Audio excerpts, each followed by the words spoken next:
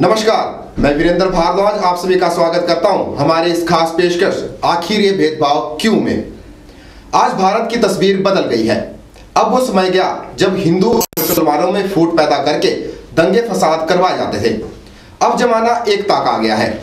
आप सोच रहे होंगे कि मैं आपको ये सब क्यों बता रहा हूँ? क्योंकि आज मैं आपको मंडी जिला के उस क्षेत्र की तरफ़ ले जाने वाला हूँ, जहाँ हिंदू और मुसलमान एक साथ रहते हैं। लेकिन इलाका सरकारों की अनदेखी का शिकार हो रहा है।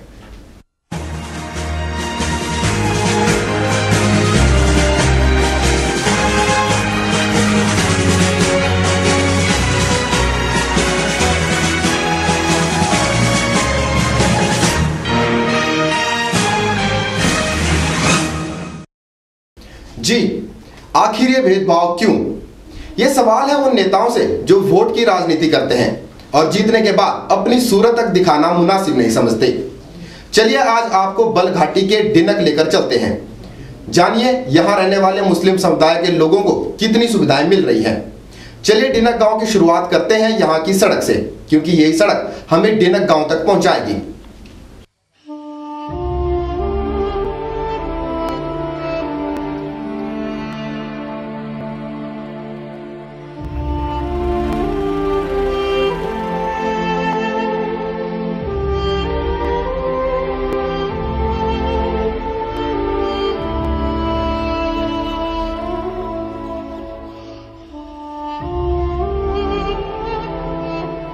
हिमाचल प्रदेश में सड़कों को भाग्य रेखाओं के नाम से जाना जाता है। और ये वही भाग्य रेखाएँ हैं जो आपको डिनक गाँव तक पहुंचाएँगी।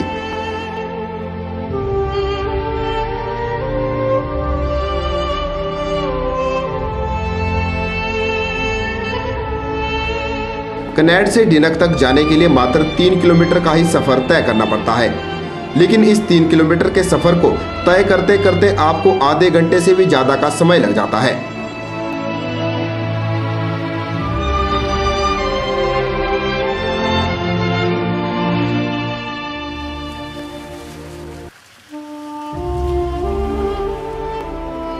आज़ादी के तिरसठ वर्ष बीत जाने के बाद भी आज हिमाचल प्रदेश में रह रहे अल्पसंख्यकों को सरकार की तरफ़ से ये सुविधाएँ दी जा रही हैं।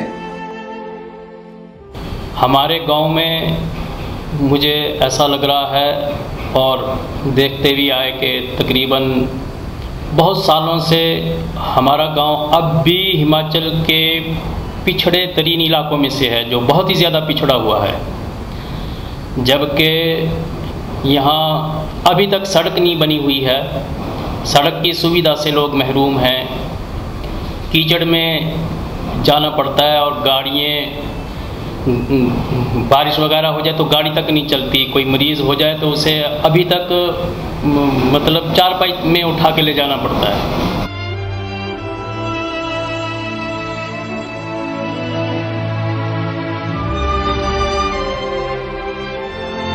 तो ये दशा है आज डिनक गाँव के बाशिंदों की, जिन्हें आज भी बीमारी की हालत में अपने परिजनों को उठाकर ले जाना पड़ता है, क्योंकि सरकारों ने कभी इनकी तरफ़ ध्यान ही नहीं दिया।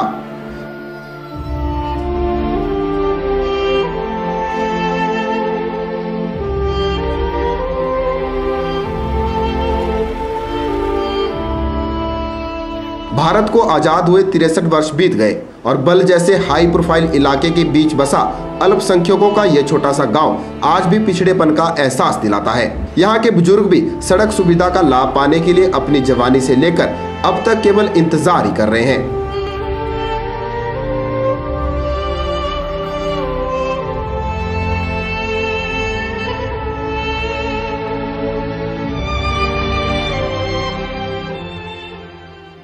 मेरी सौ साल की उम्र हो गई। असी सारी उम्र ऐसे चिकड़े च रहे, जनाब ये आरदा तुस अगे भी हूँ बन जाए सड़क। हाँ जी, बहुत अरसा हो गया, सड़क नहीं बनी। हाँ जी हूँ तुस अगे अर्जा भी साड़ी सड़क बन जाए यो साड़ी आरदा सौ साल की उम्र हो गई मेरी। साठ साल उम्र हो गई। इस रोड को ऐसे ही देखते रहे हम। दुकानों या घरों में पानी घुस गया। इसका कोई साधन नहीं है, इसको पक्का देखने के लिए काफ़ी अच्छे से हम देख रहे हैं। ना ये हो रहा है, ना सरकार इसको देख रही है कुछ। इससे है कि मतलब ये पक्का होना चाहिए। जैसे ये नाली वगैरह ड्रेन वगैरह, इस सही ढंग से बढ़नी चाहिए।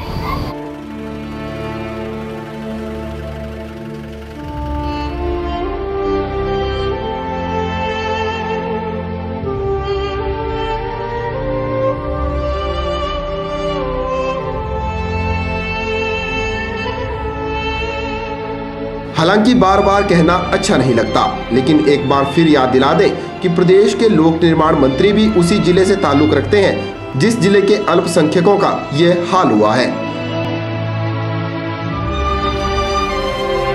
पर क्या करें? मंत्री जी ज़िले से ताल्लुक रखते हैं, डिनक गाँव से नहीं।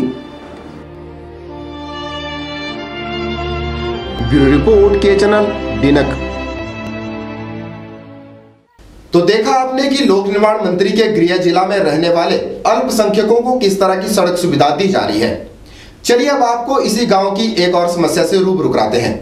इस गाँव तक पहुँचने के लिए एक खड पार करनी पड़ती है, लेकिन बारिश का पानी खड में ज़्यादा हो जाए तो फिर स्कूली बच्चों को भी मजबूरन छुट्टी करनी पड़ती है, क्योंकि खड पर पुल ही नहीं है।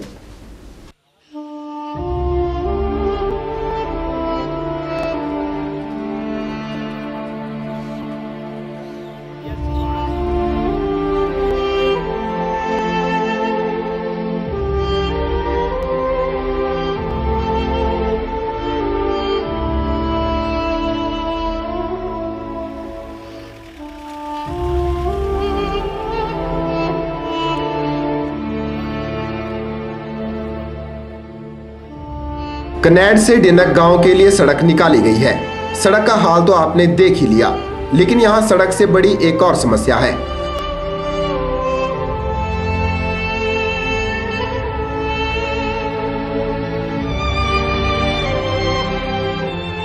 कनेड से डिनर के लिए जाने वाली तीन किलोमीटर की सड़क में दो नाले आते हैं, जिन्हें पार करने के लिए लोगों को नाले के बीच जान जोखिम में डालकर ही पार करना पड़ता है।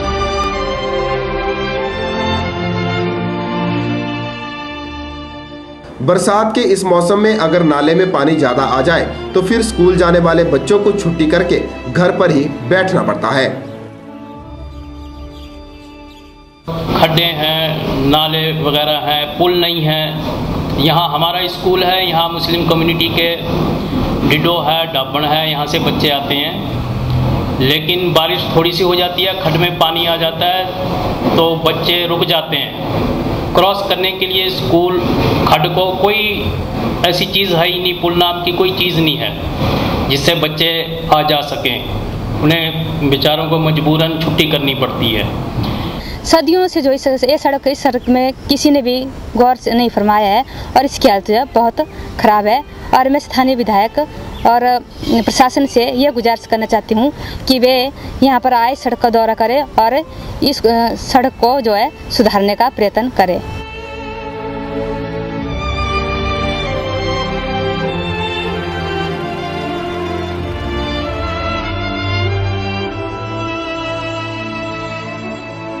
ग्रामीणों ने सड़क सुविधा की मांग कई बार जनप्रतिनिधियों के सामने उठाई।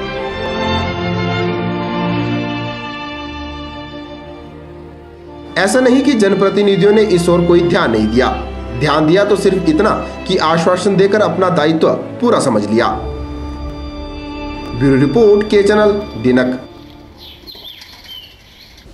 तो ये दशा है आज मुस्लिम समुदाय से परिपूर्ण डिनक गाँव की। आज डिनक गाँव के लोग जनप्रतिनिधियों से इतने दुखी हो गए हैं कि वे अब सीधे तौर पर यह आरोप लगाने लग गए हैं कि जनप्रतिनिधियों ने उनका इस्तेमाल हमेशा एक वोट की तरह किया है। इस पर भी विस्तार से बात करेंगे और साथ ही बताएँगे आपको कि और कौन कौन सी परेशानियों से जूझ रहे हैं? डिनक के बाशिंदे देखते रहिए, आखिर भेदभाव क्यों?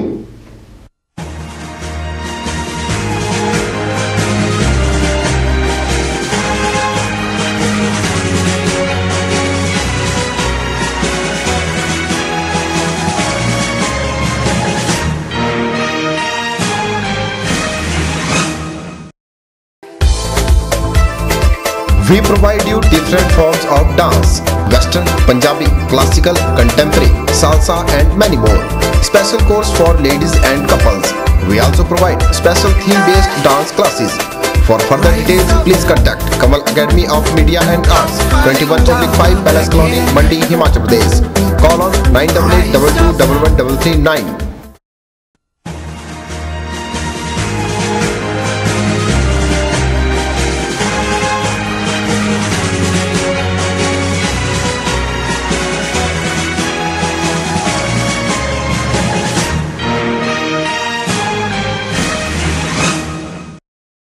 दिनक गाँव एकमात्र ऐसा गाँव है, जहाँ के सैकड़ों लोग आज विदेशों में जाकर नौकरी कर रहे हैं, क्योंकि हिमाचल सरकार के पास इनके लिए रोज़गार नहीं है। अगर विदेशों में नौकरी नहीं तो फिर पढ़ लिख कर खेती बाड़ी का काम करने को मजबूर है। आलम यह हो गया है कि यहाँ के लोगों का नेताओं पर से विश्वास ही उठ गया है।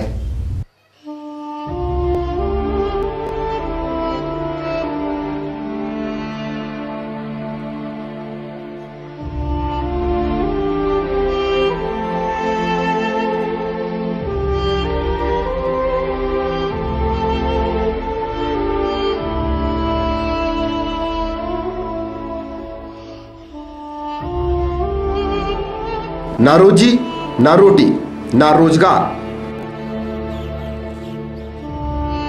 और ना ही व्यवसाय का अन्य कोई साधन।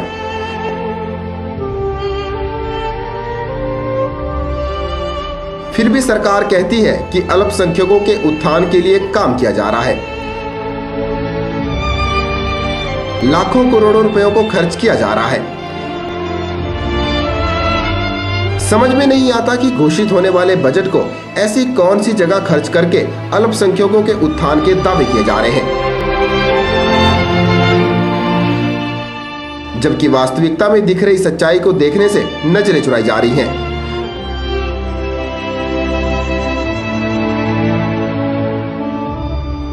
दिनक गाँव एकमात्र ऐसा गाँव है जहाँ के लोग रोज़गार की तलाश में प्रदेश तो क्या देश ही छोड़कर चले जाते हैं।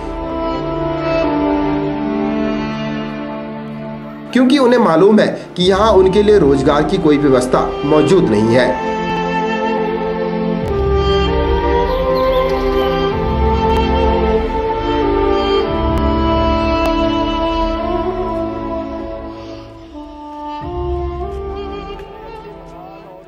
बिल्कुल उनको नौकरी नहीं है। वो सोचते हैं हमने पढ़ के क्या किया? वही खेतों में काम कर रहे हैं। और भी इस तरीके से मतलब हर हमारे नेता बेचारे इलेक्शन के मौके पे आते हैं यहाँ। इलेक्शन के अलावा उन्हें कोई वक्त नहीं मिलता यहाँ कि लोगों की समस्याएँ पूछी जाएँ, क्या हैं, किन परेशानियों में लोग ज़िंदगी व्यतीत कर रहे हैं और कैसे रह रहे हैं। सैकड़ों की तादाद में नौजवान बाहर हैं फ़ॉरेन में हैं और काफ़ी ज़्यादा फॉरेन करेंसी एन पैसा जो है प्रदेश के लिए, देश के लिए आता है, जिससे देश का और प्रदेश का नाम आता हो, ये तरक्की की तरफ़ जाता है।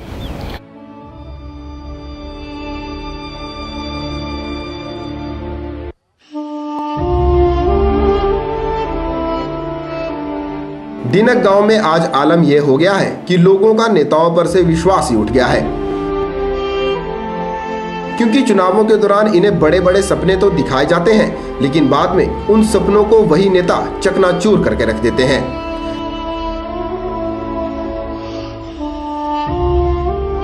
इस गाँव में कभी विधायक महोदय तक ने आने की जहमत नहीं उठाई। सरकारी योजनाएँ गाँव तक पहुँचना तो दूर की बात। Bureau report, K channel Dinak गाँव में कभी विधायक महोदय ने भी अपना पाँव नहीं रखा हो, वहाँ की जनता का नेताओं और सरकार पर से भरोसा उठना लाजमी है। चलिए अब आपको गाँव के लोगों की कुछ और समस्याओं से रूबरू कराते हैं। कहीं सरकारी दुकानें टपक रही हैं तो कहीं बिजली की तारें मौत को दावत दे रही हैं। जानिए इन सब के बारे में जनता की जुबानी। मैं दर्जी का काम करता हूँ और यहाँ मुझे पंचायत की तरफ़ से दुकान अलॉट हुई थी, जिसको अरसा कम से कम सताई अठारह साल हो गए मुझे यहाँ काम करते हुए। और अब इसकी जो छत है, वो गिरने जा रही है। हमारा रोज़गार इसी पे निर्भर निर्भर है। और बरसात में इसका पानी भी अंदर घुस जाता है। तो विभाग से दरख्वास्त है कि हमारी इस मुसीबत को सुलझाएँ। हमारे घर के ऊपर से जो लाइन जा रही है, उसको बदलवाने के लिए हमने नए तीन पोल खड़े करवाए, दो साल पहले खड़े करवाए थे।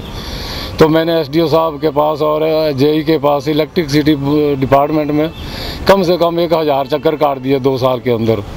तो उन्होंने आज तक वो हमारी तारें जो हैं वो दूसरे नए पोलों के ऊपर शिफ्ट नहीं की। और वो तारें वो तारें जो हैं वो पोल जो हैं वो हमारी हदूद के अंदर हैं हमारी ज़मीन के ऊपर हैं। क्या बोलते हैं आपको जब वो हमें हमें टरकाते रहते हैं ऐसे ही बोलते हैं कर देंगे हो जाएगा कर देंगे हो जाएगा। इसके अलावा और कुछ नहीं करते। कोई फिजिकली कोई एक्शन नहीं है उनका। विधायक दिले राम से उनको कोई पचास दफ़ा टेलीफोन करवा दी है इन तारों से क्या खतरा है आपको? ये इन तारों से खतरा ये है जी कि वो लाइन मेरे घर के ऊपर से जा रही पुरानी लाइन। तो वहाँ अगर बच्चे जाएँगे तो कोई अगर तारों के साथ टच हो गया तो मर जाएँगे बच्चे। कौन जिम्मेदार होगा इस बात का? आ सरे जेड़ा पानी और रामपुरा सारा सरे आंगना बड़ा जाए कने। फिर ऐसा से सोधना पावा तो सड़के सड़के सड़ना पावा। भांडे टिंडे मारने होता हो ओरे परे करी जगह फिर इसे सारा पानी जहाँ, सारे अंदर आ जाओ। ये सड़क रा सुधार करा, ता करके सा नालिया भी परे काटा आ सारा भी जेड़ा, भांडे मारने पानी ऐसे ऐसा के थे जगह नहीं आई, ओरे परे कोई नहीं देना ऐसा पानी जाना। तो जो भी ऐसे बाल्टिया के सोध के सट रहा हूँ ऐसे थी एडे हैं सड़के सड़के आई के बड़ी बड़ी बाल्टिया। तो ये स्थिति है डिनक गाँव की।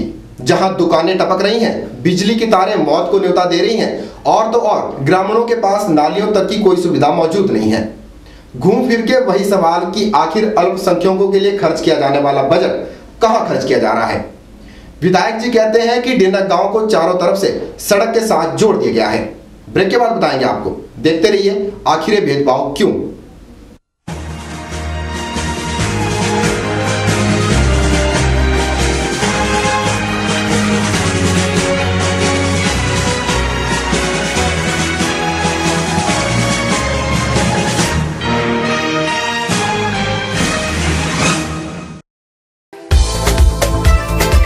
We provide you different forms of dance Western, Punjabi, classical, contemporary, salsa, and many more. Special course for ladies and couples. We also provide special theme based dance classes. For further details, please contact Kamal Academy of Media and Arts, 21 5 Palace Colony, Mandi, Himachal Pradesh. Call on 9882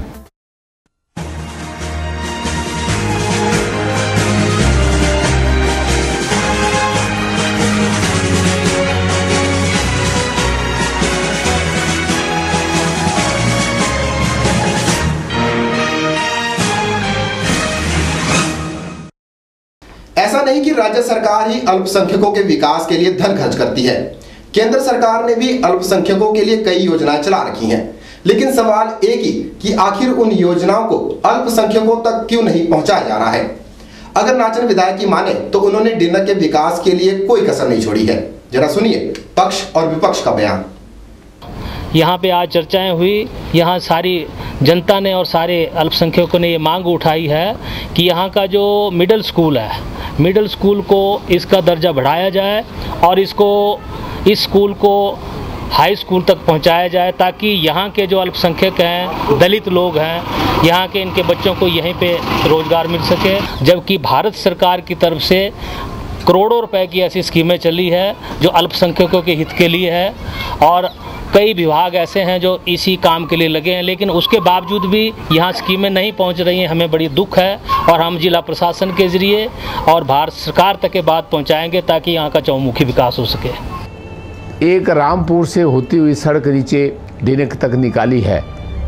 वो आज तक चौंसठ साल की आज़ादी के बाद पहली बार सड़क वहाँ पर निकली है और पीएमजीवाई में वो सड़क बनी थी और हमने उसको पक्का भी किया था। और हमने डिनक तक उसको पक्का करने के लिए वहाँ पर जितने भी तारकोल के ड्रम रखे जाने थे या सड़क बननी थी, पूरा मटेरियल रखा गया। लेकिन बदकिस्मती से कि हम उस वक्त जीत नहीं सके और वहाँ से वो ड्रम भी उठा दिए गए और सड़क ज्यों की त्यों रही। वो नहीं बनी। लेकिन अब हमने माननीय मुख्यमंत्री जी से ढब्बन और डिनक को, डुगराई को जोड़ने के लिए पुल का प्रावधान भी कर लिया और ढाबण से डिनक को सड़क निकालने का प्रावधान भी कर लिया। उसके लिए डीपीआर बन रही है। बड़ी जल्दी वो काम लग जाएगा और डिनक को हमने चारों तरफ़ से सड़क से जोड़ दिया है। तो कांग्रेस कहती है कि प्रशासन योजनाओं को अल्पसंख्यकों तक पहुँचाने में नाकाम है। वही भाजपा विधायक की माने तो डिनक गाँव को चारों तरफ़ से सड़क सुविधा से जोड़कर विकास के नए आयाम स्थापित किए गए हैं।